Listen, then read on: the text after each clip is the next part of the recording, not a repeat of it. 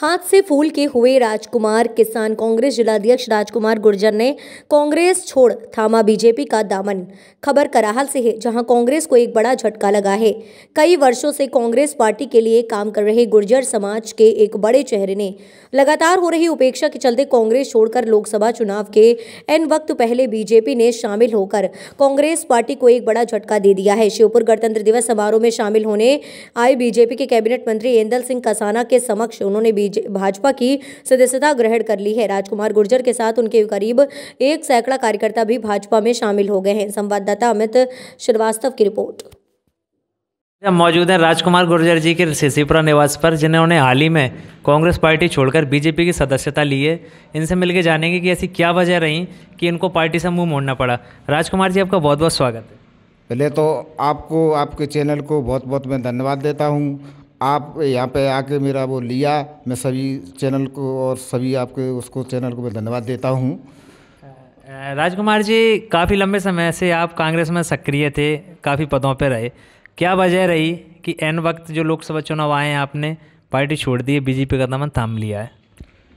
मैं आज से सत्ताईस अट्ठाईस वर्षों से मैं कांग्रेस में जुड़ा हूँ। जब से मैंने राजनीति में आया हूँ जब से मैं कांग्रेस में ही रहा हूँ करीबन में सत्ताईस अट्ठाईस साल हो गई।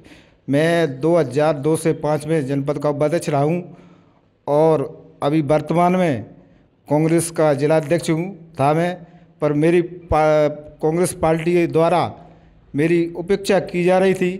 इस वजह से मैंने कल एदल सिंह माननीय कंसाना जी के नेतृत्व में शेषईपुरा में मैंने बीजेपी की सदस्यता ग्रहण की है।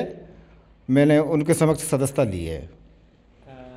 राजकुमार जी, जिस कांग्रेस पार्टी की अगर बात की जाए तो कांग्रेस पार्टी ने आपको सब कुछ दिया जिला अध्यक्ष, कांग्रेस किसान का बनाया आपको उस पद से नवाजा।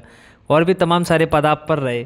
फिर ऐसी क्या वजह रही? एक हमने आपका देखा कि जो दिग्गज नेता हैं कांग्रेस के, वो भी आपकी चौकट पर हर बार आते थे।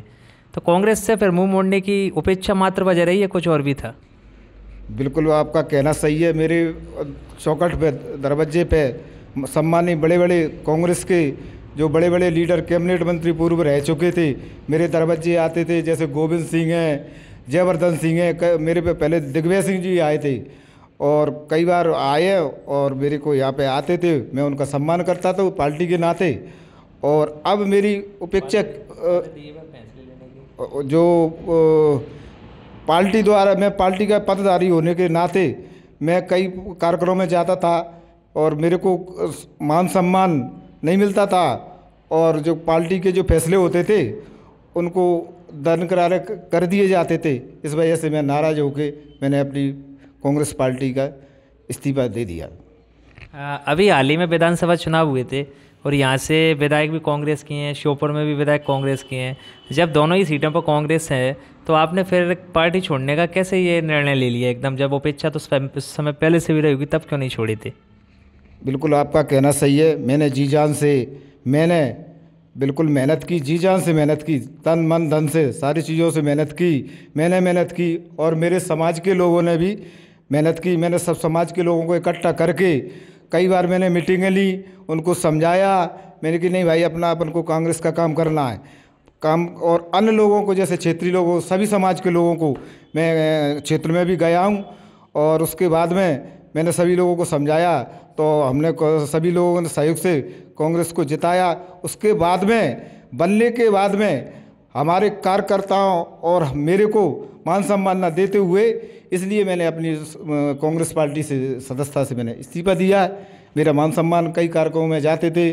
जैसे उसमें मान सम्मान नहीं मिलता था। कार्यकर्ताओं को गुट, कई गु- गु- कई गुटबाजियों में बढ़ते थे। रामनिवास जी से मैंने कई बार वो कहता था तो रामनिवास जी भी अपनी उसको मैंने काम करते हुए भी मेरे को महत्व नहीं दिया। इस वजह से मैंने अपना इस्तीफा दे दिया है कांग्रेस पार्टी से। तो कहीं ना कहीं आप कह रहे हैं कि गुटबाजी इसमें आ भी रही है। तो क्या गुटबाजी है कांग्रेस में? बिल्कुल है गुटबाजी। गुटबाजी तो ये नेता लोग ही तो कर रहे हैं। जैसे रामनिवास जी है कई गुटों में बांट देते हैं नहीं साहब ये तो कांग्रेस का नहीं है ये फलाना नहीं है। ऐसे ऊपर तक कांग्रेस में गुटबाजी है। कांग्रेस में ऊपर से गुटबाजी इसलिए तो फेल हुई है। इसलिए विधानसभा में चुनावों में इसलिए इस, इसका परिणाम जनता द्वारा दे दिए दे दिया गया है। इसी वजह से आज कांग्रेस खत्म हो चुकी है। तो मतलब आप जो मेहनत करते थे कांग्रेस के लिए तो क्या जो स्थानीय नेता हैं और जो ज़िले के बड़े नेता हैं क्या वो आप यकीन नहीं करते थे कि आप कांग्रेस के लिए काम कर रहे हैं? बिल्कुल कतई हम कतई विश्वास नहीं करते थे और कोई महत्व नहीं देते थे कोई कार्यक्रमों में सम्मान नहीं करते थे।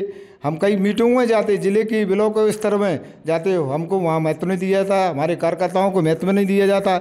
आज मेरे साथ में सौ कार्यकर्ता ने शपथ लिए वे सभी लोग मेरे से कहते, भाई साहब, आपने, आपके, आपने विधानसभाओं में कहा कि ऐसा करो तो हमने काम किया, कांग्रेस का काम किया। अब मेरे पे दबाव बनाते, सभी लोग कहते थे कि भाई साहब, ये हमको तो अब कोई महत्व नहीं है। तो मैंने कहा, इस वजह से हम ही सब मेरे आए सभी लोगों ने तो मैंने कही, मैंने, मैं तो इस्तीफा दे रहा हूँ मैं कांग्रेस पार्टी से, मैं तो नहीं मिल रहा।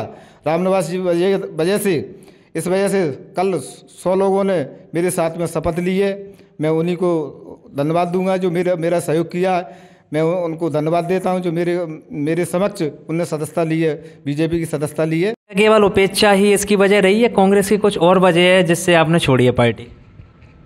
वजह एक तो हिंदुवाद ये मतलब अपना अयोध्या का जो राम मंदिर का अभी निर्माण हुआ है, उस वजह से कांग्रेस पार्टी के जो वरिष्ठ लोग हैं, वो उसकी उपेक्षा कर रहे थे। इस वजह से भी हमारे, हम हिंदू हैं, हम हिंदू सनातन के लोग हैं और भगवान भगवान को अयोध्या को मानते हैं। इस वजह से हम उनको धन्यवाद देते हैं, जो मोदी जी ने आज अयोध्या में जो काम किया है, वो आज तक 500 वर्ष तक किसी ने नहीं किया और कांग्रेस के लोग तो आज भी उसका विरोध कर रहे हैं, इस वजह से हम उनको, कांग्रेस के लोगों को वो करते हैं, इसलिए हम, इसलिए पार्टी हमने छोड़ी है। इस वजह से अयोध्या उस पर भी हम खुश होकर मोदी जी को धन्यवाद देते हैं, जो अयोध्या में राम जन्मभूमि का वो मंदिर का निर्माण किया है वो राजकुमार जी एक और मानी जाती है। कुछ लोग कह रहे हैं कि अंदर सिंह कंसाना जी कैबिनेट में मिनिस्टर बन गए हैं आपके समाज से और अब हो सकता है कि संभवतः प्रभारी मंत्री बन जाए ज़िले के इसलिए एक लालच बस आपने उनका साथ लिया है। ऐसा लोग कहते हैं। क्या ये बात सही है? ये बात सही भैया तो ऐसा कुछ नहीं है। वो तो सभी के मंत्री हैं क्योंकि व्यक्तिगत समाज के थोड़ी हैं। वो ठीक है हमारे समाज के मंत्री हैं कैबिनेट कृषि मंत्री हैं कैबिनेट के मंत्री हैं मैं उनको भी धन्यवाद देता हूँ। पहले से हमारे आज से क्या बहुत? पहले से जब से कांग्रेस में थे, जब से भी हमारे संबंध थे, और कई रिश्तेदारी हैं, कई संबंध वो हैं, ऐसा कुछ नहीं है उन्हीं की वजह से। पर मैं, उन्हीं के भवस में मतलब हम उनके नेतृत्व में, उनके नेतृत्व में हमने सदस्यता ली है। वो समाज के लोग हैं और वरिष्ठ लोग हैं, हमारे समाज के हैं, लीडर हैं हमारे, मध्य प्रदेश के लीडर हैं हमारे समाज के, और सभी समाज के हैं वो तो।